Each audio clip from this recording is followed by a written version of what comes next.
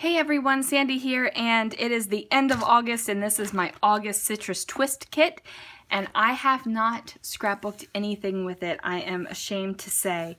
Um, we had a pretty exciting month. My son graduated boot camp and became a Marine, um, and I kind of like pushed this off to the side, and we did things with him, uh, as a family while he was home on leave. And then scrapbooking wise, I've been using my Rediscover Your Scat Stash kit and I've been creating layouts from that and I've been having a fun time with it. Um, and the papers and stuff that I had um, really didn't go with what I wanted to do. But I do have some Muir Woods photos from when we went in 2016 and I do want to use this kit to scrap those. So Let's see what I can do. All right, so I'm starting off by using a section of this Summer Lights uh, paper from Pink Paislee. And um, my word, this has got to be my favorite piece of paper from the Citrus Twist kit this month. Like, I love this paper. If I wasn't on a scrap bash, I would be buying some more. Um, I do get to use it on a second layout though, so that is pretty exciting. So um, this page is actually kind of simple, but it turns out, in my opinion at least, really pretty. And this is going to be like the opening, uh, like the opening kind of section divider uh, for the Muir Woods section of my 2016 scrapbook. So I used a piece of white American Crafts cardstock, and that did come in the kit. And I just layered that paper on there. And I used two photos. Now, I actually, that um, photo on the right is actually a panoramic shot that was printed on a 4x6 uh, photo. So it looks kind of weird, but it's a really cool shot. Um, and then there's just this close-up shot with um, the bark of these two redwood trees on the left. So I was giving you a close-up and a like a whoa, look how tall these trees are, kind of look at the same time. And I really liked this picture of my husband and I, and his shirt just happens to match um, these papers and embellishments perfectly, so I figured it worked great. So I layered the two photos, I placed them side by side and layered them up on a piece of cardstock. Now, I'm not exactly sure where this cardstock came from, I couldn't tell you. Um, it might be from one of the Recollections Hot Buy cardstock pads. It might be something that I've just picked up along the way. I'm not sure, but it's kind of a like a gray green color. Um, I'm not exactly sure what, what the color is on there. Now, I used this frame, and that's from the Maggie Holmes ephemera pack um, for Carousel. And I really like this frame. It's got this pretty gold glitter around it, and it's just a pretty frame. Um, and I uh, go ahead and use that for um, the photo of us.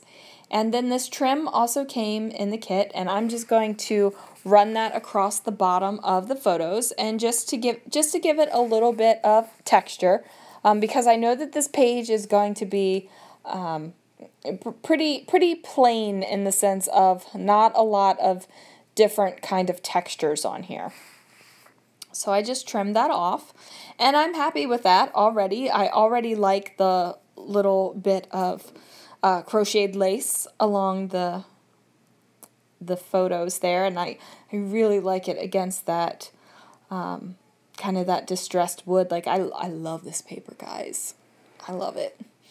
I doubt very seriously that I'm going to buy more of it. I mean, even if I wasn't on maybe I will. After after the challenge when I'm ordering some Christmas stuff cuz I am going to wait. I'm going to be good. I'm going to wait. Maybe I'll just do do it then if it, if it's still around. So, um I didn't like the little ticket uh, up there, so I got this big thing, this big die cut that's 1 through 7. Um, there's no significance to those numbers except for they're gold and sparkly and pretty and it matches and I like the way it looks. So That's what that is. Now, I also pulled off this die cut that says Delightful Day. And I am actually going to use some Versamark ink and then some clear embossing powder and emboss that up so it has kind of a smooth enamel type texture on it. And the frame is going to nestle in that. Just because, like I said, there's not a lot going on with this page. It's actually a pretty pretty simple and basic page. Um, so, but sometimes the pretty simple and basic pages are the pretty ones. So here I am. And this is what I do with my letter stickers. I don't use the flap that is placed there by the manufacturer. I cut off the side and store them horizontally so I can slide in and out my um, sticker sheets pretty easily, much easier than if I was just, um, you know, using the provided flap by the manufacturer. Um, and here is where I, I had stopped the camera and went over and embossed that little piece,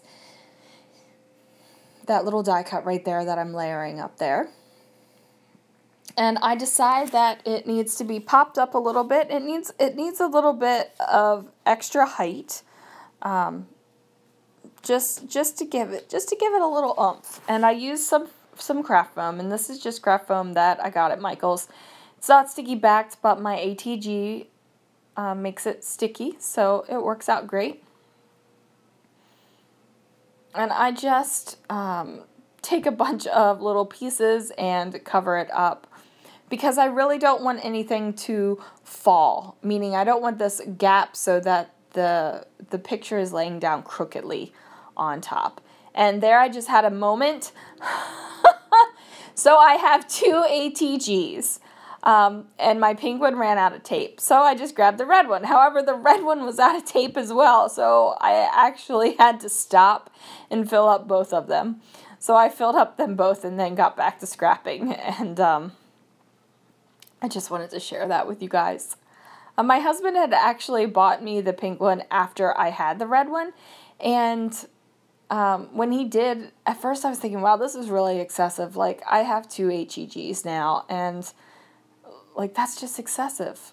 But I gotta tell you, it's so nice to just set one down and pick it up when it runs out of tape. Even though it's frustrating when they both end up running out of tape, uh, but it's it's just it's a nice thing to have. Um, I also have these uh, Jolee's Boutique little flowers that I pulled out of my stash. And then I also have this gray uh, washi that I'm not sure where it came from. I've had it for a long time. It's actually part of my uh, Rediscover Your Stash kit, and I ripped it, so I just tossed it and uh, tried again. And this time I got it down perfectly, just fine. I got it positioned just where I wanted it. Eventually, there we go and that's all good. And then I'm going to add a little bit up at the top too, just to repeat that pattern somewhere on the page so that it's not just like this big line of washi tape. And I'm going to mess with these flowers um, for a little bit. I uh, almost do three down on the washi tape. Like I'm, I'm trying to figure out, I know I want to use the flowers. I like the little rhinestone color in the center of them. It goes great with this citrus twist kit this month and the flowers are kind of like an ecru color so they work great with the kit as well. I end up just using a couple of them and that's that's fine. So here I am adding that washi tape up to the top because I'm thinking that up there needs a little bit extra. I mean that's a lot of gold up there um, and a lot of numbers that nobody if somebody looked at that, I'm sure they could come up with something in their head. Oh, she has the numbers because blah, blah, blah, blah, blah. But honestly, I have the numbers because the color works and the glitter works and they're pretty. um, and that's all I have to say about that. so I'm just messing around and figuring out where I want everything. And I do put that little flower there on the Delightful Day banner. And it stays there. Like I, am good with that. Uh, I'm good with that. It's gonna stay there. and I'm just looking at that washi tape and I'm thinking something needs to go here. Um, I'm like, maybe these gold stars that came in the ephemera pack and I'm like no they that's really not the look I'm going through for I have this soft like crocheted lace and those stars are kind of like boom in your face it's not, it's not really working for me so I find um, these brads and they're from Prima I believe and they're actually um, like seashore themed but the colors work so there's one that says us that I pull out and um, I go ahead and use that, obviously, by the photo of us. And then there's one that says, what does this say? I'm trying to read it. It's really relax. And if you've ever been to Muir Woods, you'll know that it's it's a very peaceful and calm place. So I figured that was appropriate as well. And then I pulled off the little pearlized ones just to add um, some more brads. And I poke them all through. And I'm not sure if I do it on camera or not, but I do cover all the backs of my brads in washi tape. And that's just so they don't poke any pages that are on the other side of them. And it's um, smooth when I put place them into the album.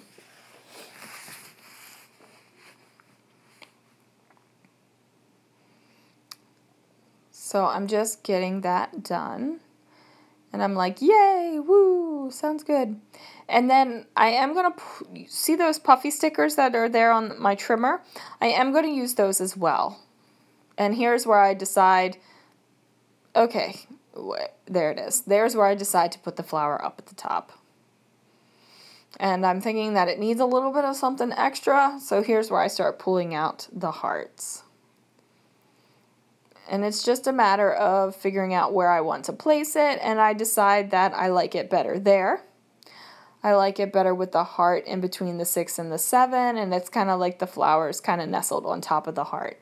And that works. And then I decide to bring a little bit of embellishment to the washi tape because I've been trying to do that um, multiple times throughout scrapbooking this page, is to just bring a little bit of extra oomph to that washi tape. And I end up using the, uh, the little heart puffy sticker from Citrus Twist. And this is where I'm going to do those pearlized um, brads. I'm going to layer them with the hearts that are there. And then here, so I think throughout this video, my letter stickers have fallen off and I have placed them back on and that's just a chipboard thicker thing. I know a lot of people use wet glue to place them down, but I find that my ATG works great for it, and my ATG is handy, and I say use what is handy. Alright guys, that'll finish this up for me. Thanks for watching. See you again soon. Bye.